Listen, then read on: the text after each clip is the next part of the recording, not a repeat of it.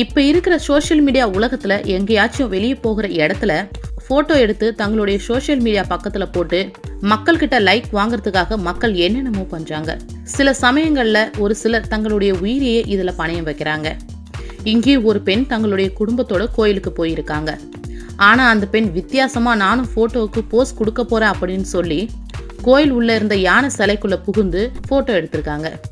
அடுத்து இந்த பெண்ணுக்கு என்ன ஆச்சு அப்படிங்கறத நீங்களே இந்த வீடியோவில் பாருங்கள் இந்த வீடியோல இருக்கும் பெண் கோவிலில் இருக்கிற ஒரு சின்ன யானை சிலைக்குள்ளார போய் போட்டோக்கு போஸ் கொடுக்கலாம் அப்படின்னு முடிவு பண்ணி யானை சிலைக்குள்ள நடுவுல போயிருக்காங்க. ஆனா ஒரு கட்டத்துல சிலைக்கு நடுவுல மாட்டிக்கிட்ட இந்த பெண் வெளியவே வர முடியாத அளவுக்கு சிக்கி இருக்காங்க பத்து நிமிஷம் சிலைக்கு நடுவிலே சிக்கிய இவங்களை அவங்களுடைய சொந்தக்காரங்க எப்படியோ இவங்களை மீட்டெடுத்துட்டாங்க. கோவிலுக்கு போய் சாமியை பக்தியோடு கும்பிடும் பலருக்கு மத்தியில இப்படி போட்டோவுக்கு போஸ் கொடுக்க போய் சிலைக்கு நடுவில் சிக்கின இந்த பெண் இப்போ சமூக வலைத்தளத்தில் பலரும் இவங்களை கிண்டல் அடிச்சு வந்துட்டு இருக்காங்க.